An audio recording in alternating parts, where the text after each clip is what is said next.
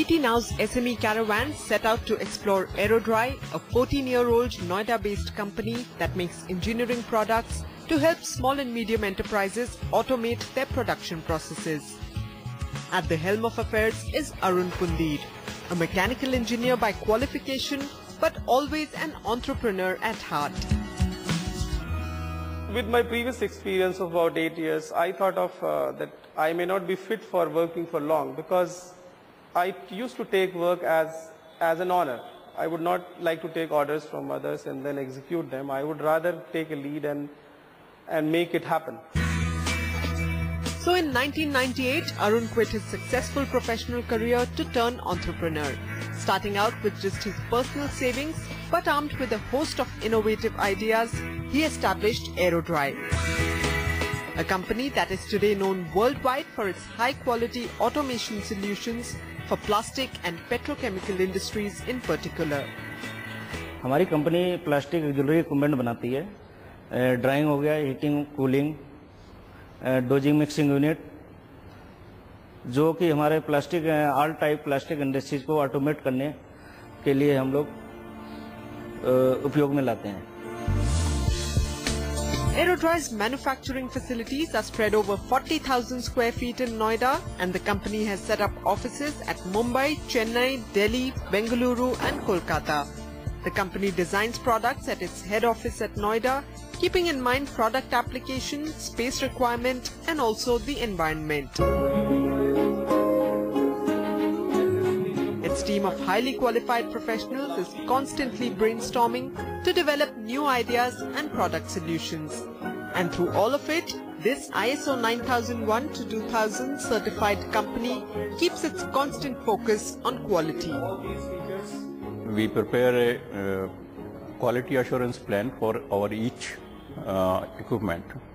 They are standardized. The quality assurance plan contains three stages of inspection. That is incoming inspection for the raw material and the bottles and the in-process inspection during manufacturing and the final inspection and testing after the product is made. We use the standard components from the good companies like Siemens or Larsen and Toubro and all that. So we don't use any substandard component in our product lines. What are the industries where your products find application? Plastic and we call on a larger ambit petrochemical industry. The industries which are being served primarily are like polyester fiber uh, producer, producers, bottle uh, manufacturers or uh, film manufacturers for packaging of the, of the, of the, of the various products. And then if you go larger into it, then like Bhuvansek Industries for making fertilizer bags and so on. So today you've come a long way.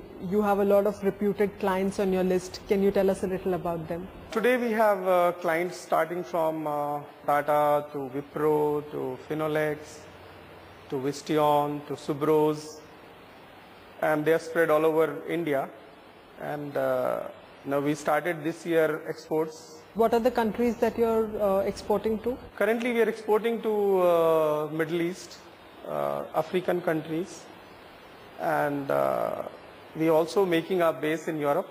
Over the next few years, what's your vision for the company? Where do you want to take it from here?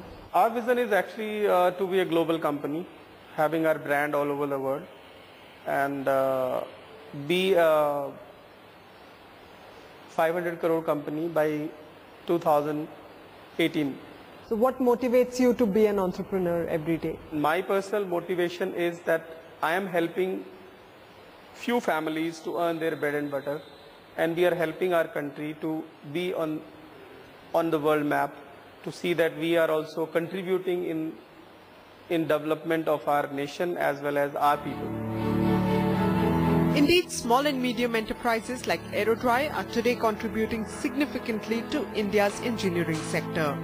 From a 10 crore rupee turnover last year to a target turnover of 28 crore rupees this year, Aerodry is well on its way to becoming big with its clear business strategy, constant innovation and supreme quality of products. Yes, indeed, quality and innovation are things that you'll find in abundance in Indian SMEs.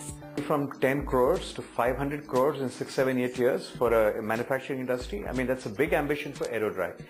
Uh, I have one bit of advice in terms of growing like this. I mean, I think uh, the management would say we'll set up offices all over India and do it.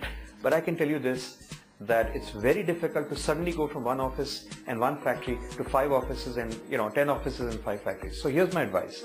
Don't do five together. Start with one. Take one industrial area, you know, set in there, really spread your wings and get 30, 40, 50% market share.